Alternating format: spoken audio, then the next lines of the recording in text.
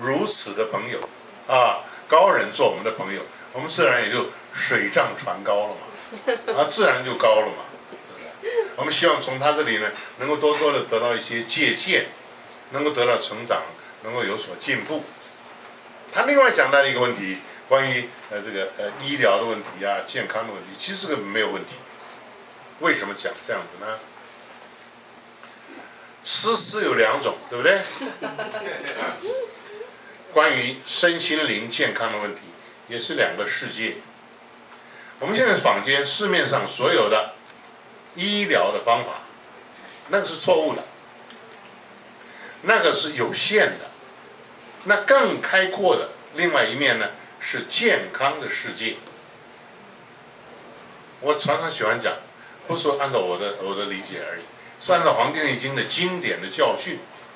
天下根本没有病，所以不准治病。祖师爷讲得很清楚哦，无问其病，以令气平。这个病是一个魔咒，不要承认它。不要接受它，要拒绝它，啊！如果你坦然面对、欢喜接受，你就糟糕了。那中的是魔咒啊！从《黄帝内经》的角度，我刚刚讲过，所有的问题不外乎十二经脉不平衡而已嘛，不协调而已嘛。至于后面哪些症状、症状等等等等，那都是画蛇添足，毫不重要的。所以祖师交代，绝对不准问病。当然，病人深受那个其害，很痛啊！我这是某某病第几期，他还报数字给你，对不对？报名牌给你，仅供参考，哈哈大笑。哎呀，不要接受嘛！魔咒怎么可以接受呢？要唾弃，怎么唾弃呢？很简单，有健康就没有疾病。当你失去了健康，我常常有朋友跟我，哦，我跟他开玩笑。朋友问我，哎，老师，我这到底是什么病？那我就笑啊，你到底需要什么病啊？通通送给你好不好？天下这么多的病，你要哪一样？你自己挑嘛，根本没有那回事啊！怎么可以这样讲话呢？本来就是啊，有健康就没有疾病，就好像我们要。发光发热，为什么？为了反对黑暗，需要反对黑暗吗？黑暗吗？不需要了，你只要开灯就没有黑暗了。你为什么要研究这个黑暗是什么病呢？没有那个病啊。万法唯心，都你想的，都别人送的，都你哎呀，你认同的，那是你送的气了。那你为什么这么这么不够聪明呢？读读读读古书嘛，老祖宗讲的非常非常非常清楚，根本没有病这回事。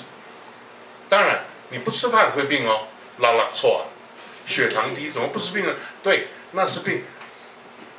有哪一种病是因为缺乏哪一种药而产生的吗？绝对没有。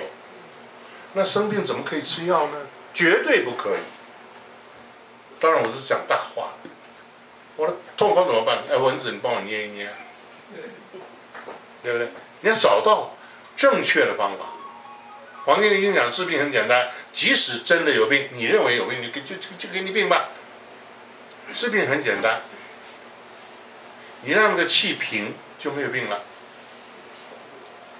气平就没有病。不平则鸣，不平则病，哀叫都有，那是真的。他的病好像是真的，其实是假的。你读读《金刚经》就知道。不要中那个后天局限的诡计，看事情，事情啊没那么简单。你看得到的只有一半，还有一半你没看到的。关键的重要在没看到的那一边。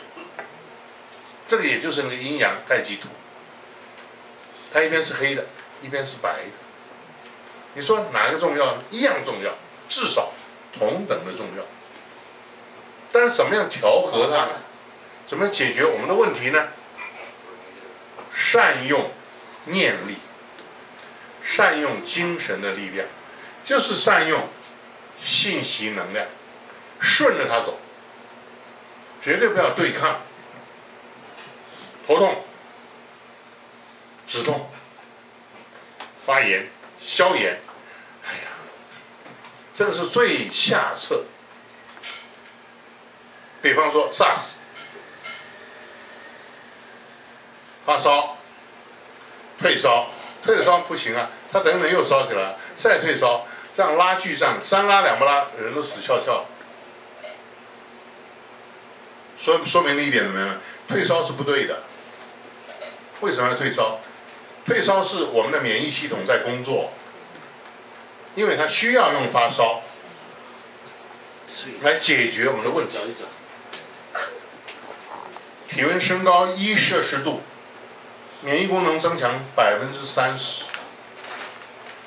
你的问题自己在解决啊，但是为什么它还在烧呢？因为还没解决好啊。那应该怎么办呢？应该恢复健康。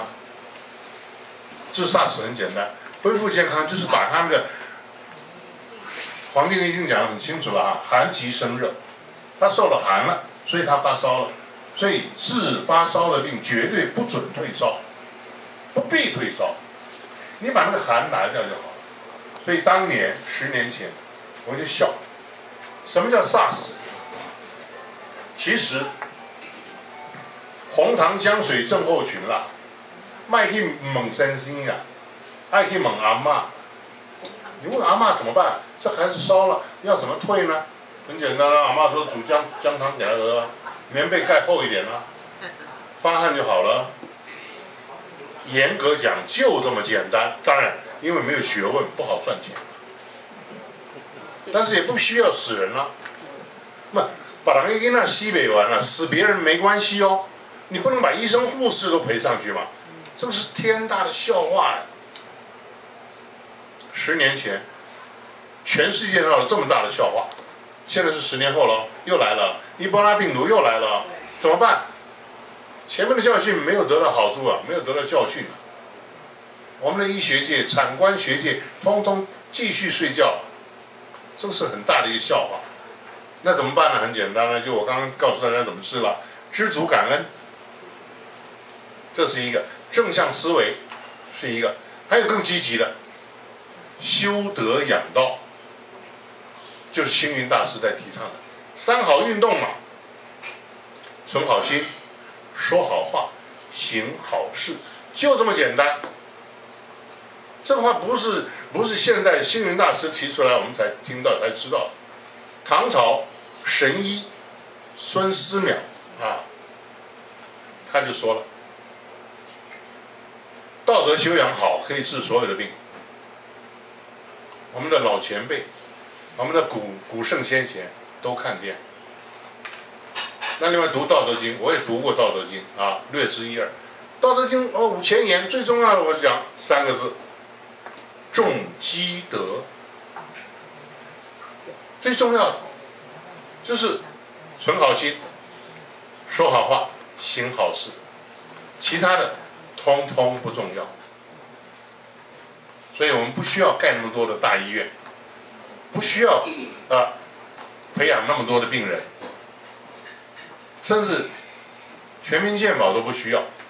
我们需要的是全民保健，不是健保。大家把自己的健康做好，该吃饭的时候你吃饭吗？吃好一点嘛，不是鸡鸭鱼肉，少吃鸡鸭鱼肉。要吃所谓的生机饮食，不要去菜场买菜，那些菜不不能吃的。那当然我是纯打高空了，我是乱吃的人啊。但是我有我的方法，我我有很多高人的朋友在后面挺我，我有问题的话我就哀哀叫求他们就好了。啊，我有那个条件，但是我知道我现在做的都是不好。我也去麦当劳。也大量的喝可乐，我以前抽烟抽的很凶啊，当然最近那个扩打用完了，我就不抽了了。我也是一个很平凡的人，很糟糕的人，很软弱的人，所以病人的众生的问题我最了解了。我从众生里面爬出来，我了解众生的需求，我了解众生的苦恼，我了解众生的软弱，那结论呢？结论很简单，不要治病。如果不要治病的话，治健康的话，医学可以很简单，医学可以很廉价，不用钱了。如果要用医学来收钱的话呢，那就要好好的考虑了。那个钱你收得起吗？你收了以后结果嘞？将来那个代价你付得起吗？人生有很多问题，我们都不敢面对，我们都没有面对。如果你要了解生命的真相，就从人心人术六气五行这八个字开始，就可以进入《黄帝内经》的世界。疗愈很简单，疗愈很廉价。好，有没有问题？无论什么问题都可以来来来，我们来交换意见。哪里有没有不舒服也可以啊，来来来，我们来把你的不舒服，哎，处理一下吧。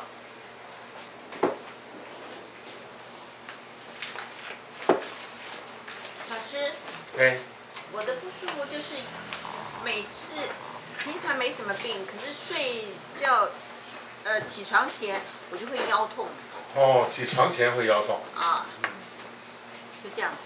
好，请出来，坐这里我看。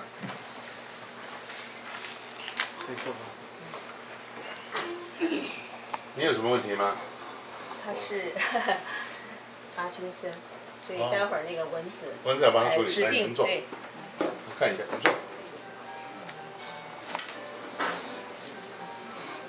会不会是因为太胖了？说得好，我也有这个苦恼。啊，他的问题啊，他是内寒外热。他按照我的粗浅的了解啊，根据《黄帝内经》理论，他是内寒外热。内寒寒在哪里？寒在胃，他的胃非常的冷，所以他消化有问题。外热呢？热在哪里呢？